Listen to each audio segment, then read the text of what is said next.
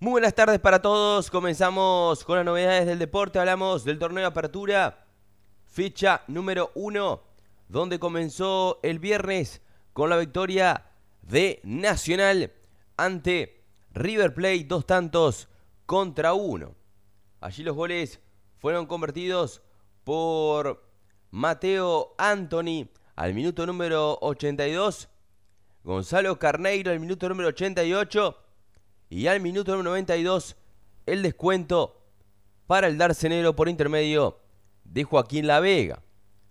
Nacional que formó con Luis Mejía en el arco, Rafael Haller, Juan Manuel Izquierdo, Diego Polenta, Gabriel Báez, Antonio Galeano, Lucas Sanabria, Mauricio Pereira, Gastón González, Gonzalo Carneiro y Rubén Bentancur, los 11 del chino Álvaro Recoba. Danubio le ganó a Fénix dos tantos contra uno. Los goles al minuto número 32 abrió el marcador Manuel Monseglio para Danubio. Al minuto número 39, Emanuel Morales. El empate para el equipo de Capurro. Y Matías Fraquia. Al minuto número 84 le daba la victoria al equipo dirigido por Mario Saralegui. Progreso derrotó a Miramar Misiones tres tantos contra dos. Los goles del gaucho por intermedio de Alex Silva Quiroga al minuto número 6. Ignacio Lemos al minuto número 35 el segundo. Minuto número 71 el descuento para el conjunto Cebrita por intermedio de Jorge Ayala al minuto número 71 como decíamos. Allí el 2-1. Luego aparecía el empate por intermedio de Ignacio Andrés Yepes al 76 y Horacio Sequeira al minuto número 87 le daba la victoria al equipo gaucho. Boston River derrotó a Deportivo Maldonado dos tantos contra uno. Los goles de Juan Manuel Ramos al minuto número 52 y Emiliano Gómez al minuto número 89. Mauro Austin Alfonso Madruga le daba en contra al minuto número 86 el tanto para el Depor Maldonado. Fue empate entre Cerro y Wanders 1 a 1. Abre la cuenta al minuto número 40. Santiago Ramírez para el equipo de Cerro. Y lo empataba para Wanders Gonzalo Freitas al minuto número 54. Racing y Liverpool igualaron 2 a 2. Donde allí los goles fueron convertidos por Matías Ocampo para el equipo de la cuchilla en los minutos 48 y 79. Dylan Andín marcaba el minuto número 46 y 52 para Racing. Peñarol derrotó a Cerro Largo dos tantos contra uno. Los goles de Sergio Núñez para el equipo de Arachana al minuto número 44. Leonardo Sequeira al minuto número 58 el empate. Y Leonardo Fernández de tiro libre en un golazo marcaba al, al minuto número 68 el segundo y la victoria para el equipo de Diego Aguirre. Cerro Largo que formó con Rodrigo Formento en el arco, Nahuel Furtado, Mauro Brasil, Lucas Correa, Enzo Castillo, Jairo Coronel, Sebastián Asís, Matías Mir, Renzo Rabino, Sergio Núñez y Hugo Silveira, los 11 de Bruno Silva. Por su parte, Peñarol con Washington Aguerra en el arco, Byron Castillo, Leonardo Coelho, Guzmán Rodríguez, Maximiliano Olivera, Damián García, Gastón Ramírez, Javier Cabrera, Leonardo Fernández, Eduardo Darias y Maximiliano Silvera, los 11 de Diego Aguirre, para otro partido también trabajoso del otro grande Peñarol que le costó en el inicio del primer tiempo, no jugó bien, en el segundo ya mejoró su imagen con un Leo Fernández que sin dudas va a ser una de las grandes figuras que tenga el campeonato porque tiene un muy buen nivel el jugador carbonero. En un partido también quedó para la polémica, en un penal que no se le cobrió a Darias en el área.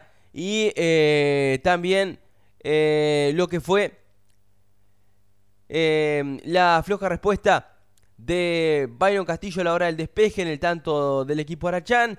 Y la defensa sigue dejando dudas en el fondo.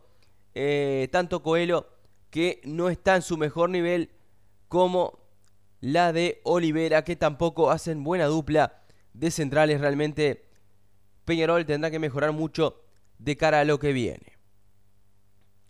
Etapa número 2 del torneo Apertura, que comienza el jueves 22 con los siguientes encuentros. Recordemos que abre con Deportivo Maldonado River Play a partir de la hora 20:30 en el domingo burgueño Maldonado. Allí encuentro televisado El viernes 23 sigue con Wanders Racing a partir de la hora 20:30 en el Viera. El sábado 24 estará jugando Boston River con Danubio a partir de la hora 17 en el Estadio Campeones Olímpicos de la ciudad de Florida.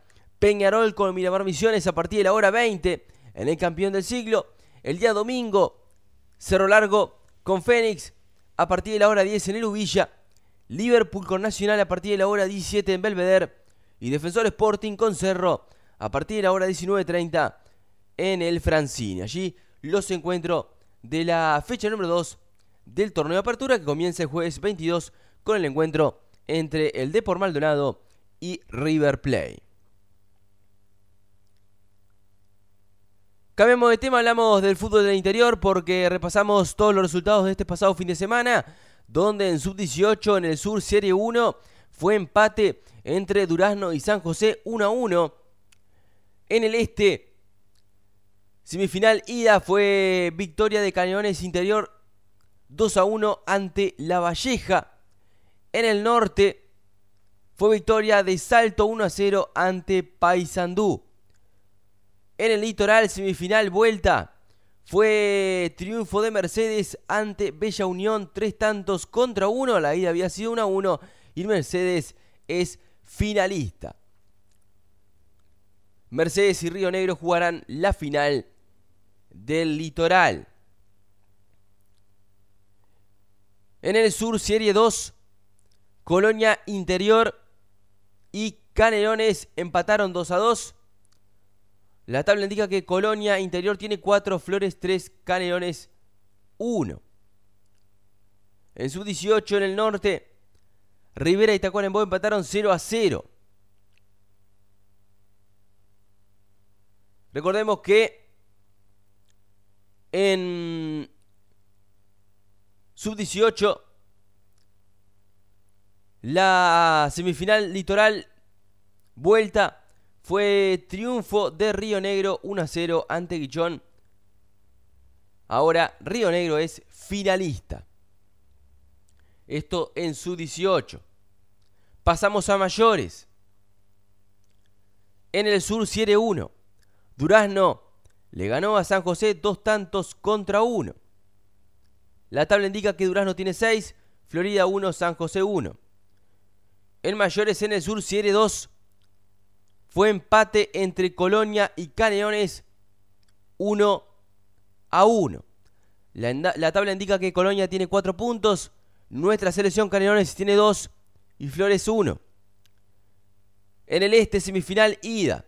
La Valleja y Rocha empataron 2 a 2 en el litoral semifinal vuelta. Mercedes le ganó a Bella Unión tres tantos contra cero. Mercedes es finalista. En el norte fue victoria de Paysandú 1 a 0 ante Salto. En mayores en el este semifinal ida fue victoria de Cerro Largo 1 a 0 ante Maldonado. Mayores en el norte. Fue triunfo de Rivera ante Tacuarembó, tres tantos contra uno. En el litoral, semifinal, fue triunfo de Río Negro ante Guichón, 3 a 0. Y Río Negro es finalista.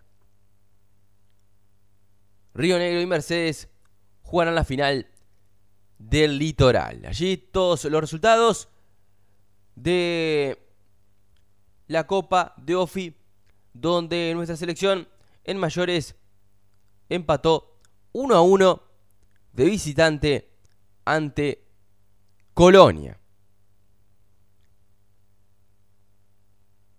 Y cerrando novedades del deporte, nos vamos con el ciclismo. Se finalizó Rutas de América, donde el ganador fue Agustín Moreira del Cerro Largo.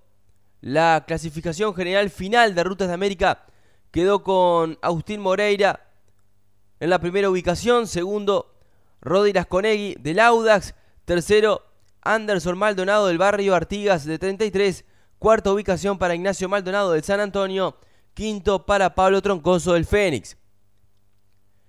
La clasificación de la última etapa quedó con Pablo Troncoso del Fénix en la primera ubicación, Leonel Rodríguez del Cerro Largo en la segunda, tercero para Rodi Conegui del Audax, cuarta ubicación para Gabriel de Souza de Progreso, quinta para Agustín Moreira del Cerro Largo. Eso es lo que fue la clasificación final de la última etapa.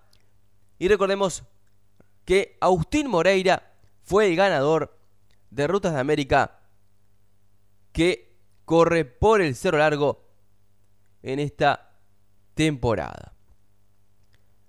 Donde Las Rojas estuvo compitiendo muy bien hasta la caída de Calo, que fue lamentablemente uno de los sucesos más importantes que tuvo Ruta de América en esa caída de ciclistas. Bueno, Calo tuvo que abandonar y allí en las Rojas quedó bastante diezmado en la competición, pero venía muy bien porque venía peleando la general, también eh, con importantes bonificaciones en los sprinters y en el CIMA.